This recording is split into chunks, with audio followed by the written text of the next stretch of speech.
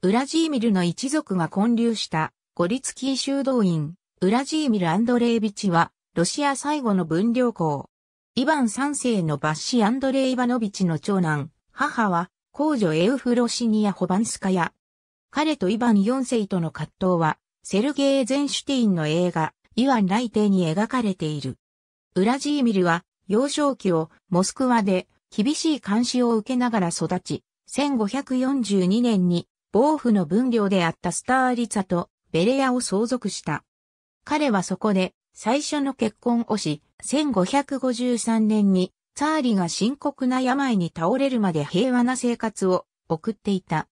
イヴァン4世が既得に陥ると大貴族の多くはイヴァンの生後1歳の息子ドミトリーに忠誠を誓うことを拒み、代わりに重帝ウラジーミルを後継者に立てようとした。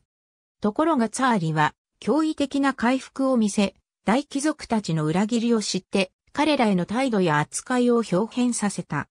イヴァンはさらに、ウラジーミルをモスクワに召喚し、少数の従者と共に、モスクワに居を移して、ツァーリに仕える大貴族とは、一切の連絡を絶つことを誓わせた。またもしイヴァンが死んだ場合は、イヴァンの幼い息子が後継者となり、ウラジーミルが摂政となるという取り決めもなされた。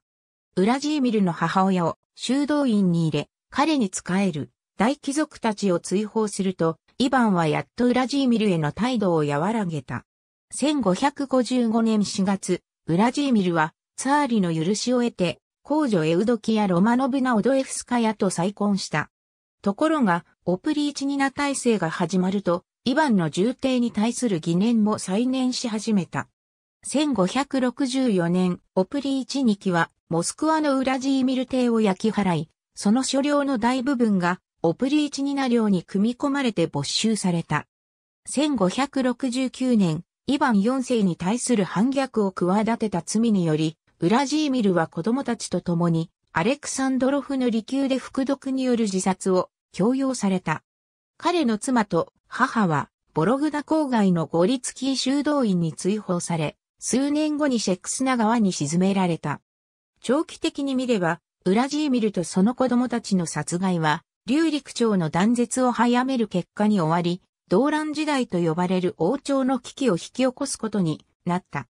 唯一生き残ったウラジーミルの娘マリアは1573年、リボニア王マグヌスと結婚し、夫の死後は、ボリス・ゴドゥノフによって女子修道院に入れられている。ありがとうございます。